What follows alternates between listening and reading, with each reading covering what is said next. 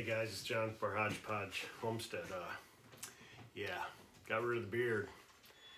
Uh, just started getting in my way. I mean, I'll grow it back, you know, but uh, ice fishing, I'd go to reach down and get up. It's in my way, it's in my vision, and uh, anyway, it's gone.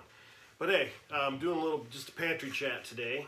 Um, I went to our local Amish store and um, I bought a whole bunch of herbs, spices, um, whatever you want to call them. Um, I've got some videos coming down the road here on, um, I started doing some charcuterie and uh, I started messing around with some, making my own brats and uh, capicolas and a whole bunch of other Italian words that I have to learn before I even try to say them on here.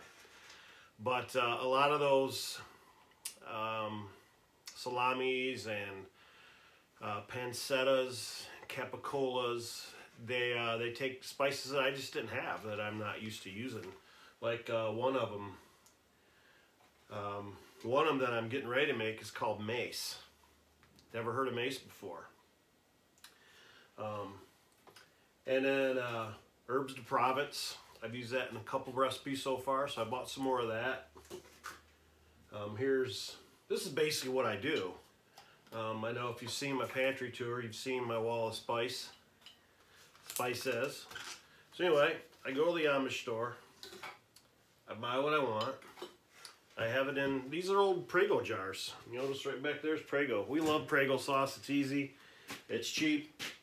Um, we've made spaghetti sauce in the past and uh, it's come out good. I don't like fighting the wateriness of it. So um, I just have to learn how to do it better. Heather and I will we'll figure that out. But anyway, um, like I said, uh, this is Herbs de Provence right there. And put my funnel in there and I mean it's pretty self-explanatory. Just dump it in. But this uh, this was two ounces of herbs de Provence. It cost me $1.99. I can't imagine. I've never looked for it like in the you know the box stores or the your uh, markets or anything like that, grocery stores. But anyway, I uh, I pick you up, not shake you around too bad. So this is my my herb, my uh, wall of spices right there and uh, it goes right up here put it back so there I've got herbs of the province powdered herbs of province, celery powder celery flakes white sage powder thyme powder fennel seeds rosemary powder rosemary and then down here is my my sage and my thyme my mustard a lot of my black peppers that all excuse me that all go into uh, making these sausages and things. Um, so anyway, I just figured that uh, this being a, a, beautiful, I think the day is the 15th of January, um, things are about to get kind of dicey, I'm thinking.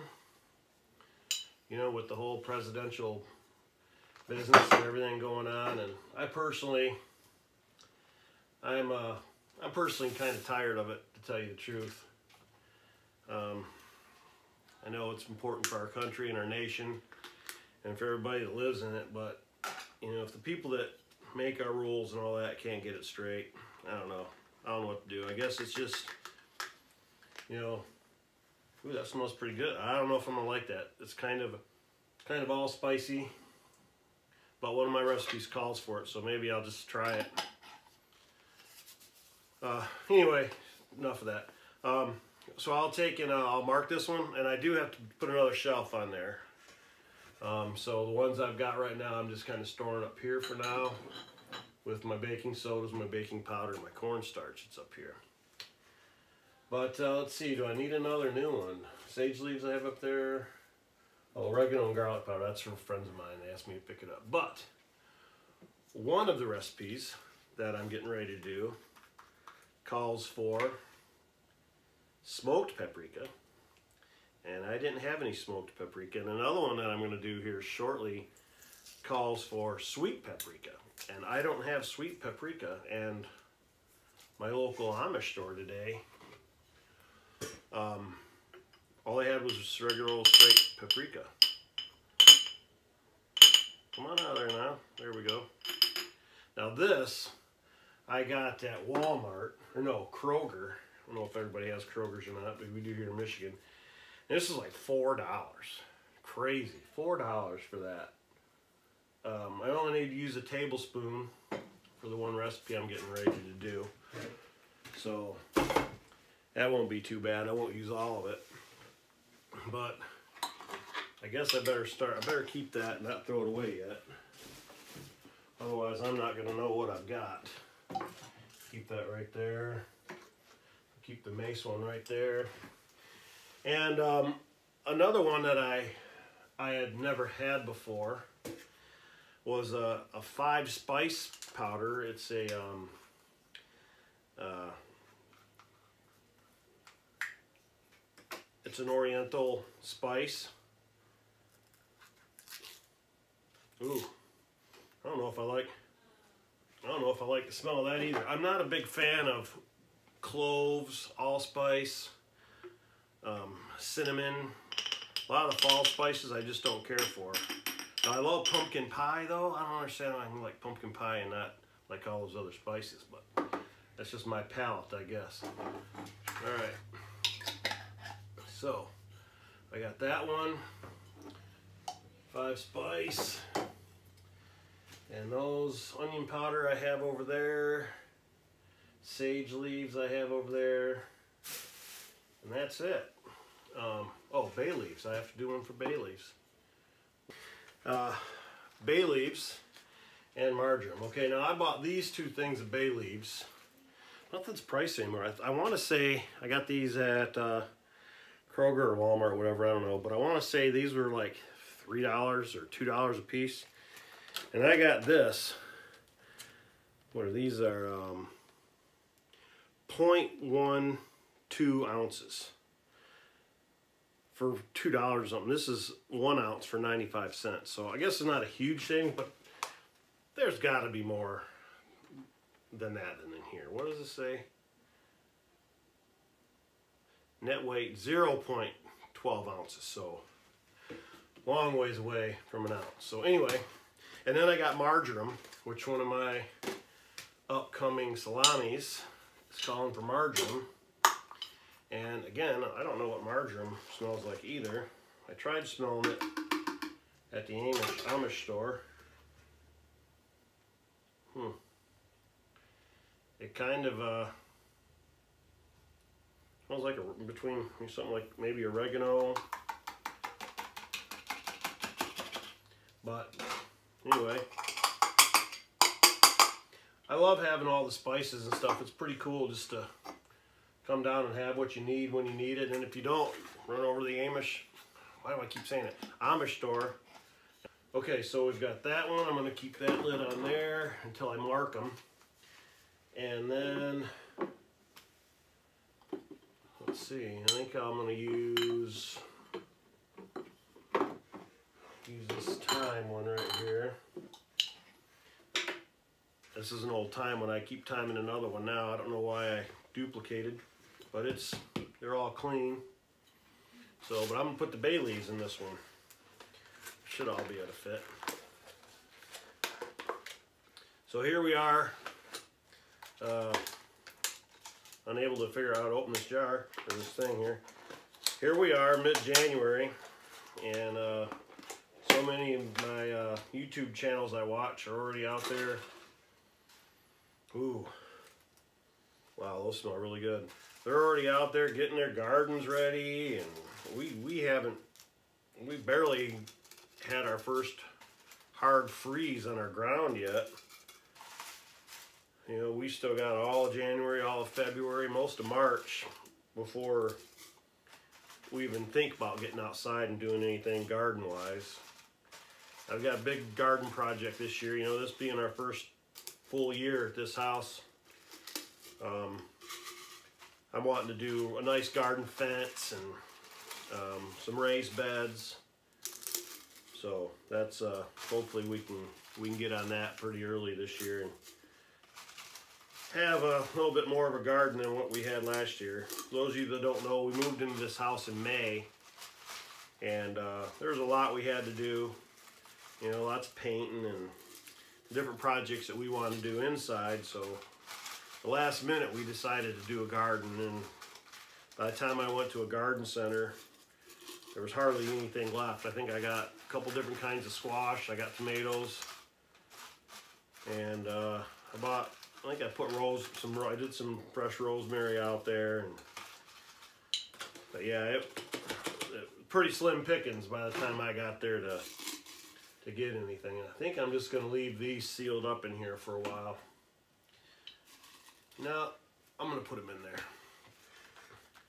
But we're planning on doing a lot more uh, like cold crop vegetables that I can store right down here because let's see right now it's uh, about 40 about 51 or 52 degrees down here right now and uh,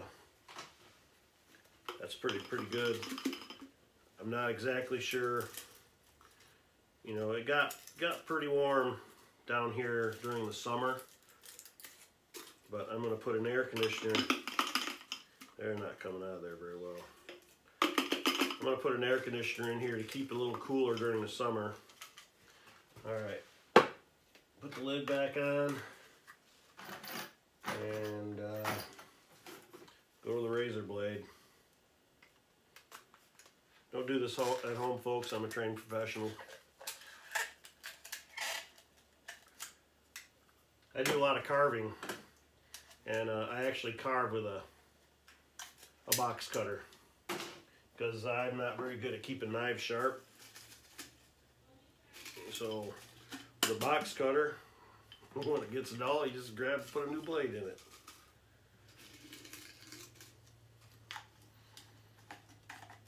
Alright let's see. Oh yeah. This other one's gonna go in there too I need to spend some time down here with the holidays and all the friends and family we had over. Um, sometimes I'd get home from the store and I just kind of put things in here. But for the most part, it's not too bad. There are some things that I, I'm going to have to start going through. We've got all our seeds right here. Um, so I'm to have to start getting those squared away and get them ready.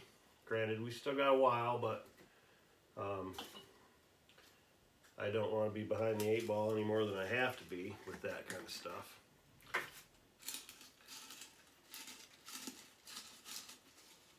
Alright.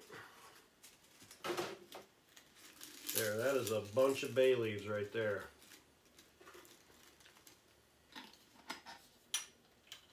Alright, and I'm going to stick this right on here and them later. My tape ended up going somewhere on me. So, so I don't know if you guys remember my uh, video I did on the Idaho, Idahoan potatoes. Um, if not, look that up. Look that up on, on how to put an Idaho can of potatoes in a half pint jar. It fits perfect. Um, anyway, you can buy these, uh, the Idahoans. You can buy them at um, Walmart for a dollar a bag. That's really cheap. Sam's Club sells them, I think, 10 in a box for 8 something, even cheaper. Now, I discovered, great value, Walmart brand same amount of potatoes, same exact same packaging, four ounces, 68 cents. Now, I'm not Mr. Bargain Shopper and I'm not Mr. Coupon Guy or anything like that, but 68 cents beats a dollar. 68 cents beats, you know, 10 of them for 8 bucks. If I do my math right, who knows about that. I haven't tried them yet, so I'm not going hog wild with them. I bought four of them just just to try. I got uh, I got buttery. What did I buy? All buttery. I thought I bought oh four cheese. I bought four cheese and four of the butter ones. And then I didn't have any more half pint jars in here, so I'm gonna have to go out to the garage get some more half pint jars. But anyway, uh, try that. It's really easy, really simple. What a better way to keep them in a jar. And, you know, especially, I don't have mice. I've mentioned down here in my pantry before that I've got mice. Well, I'm not infested with mice. I think the entire time we've lived here, I've killed two mice, and during one of my videos I was filming, I thought I got a monster mouse, but it was a vole, kin to a mole, but with a V for Victor. Mole, vole.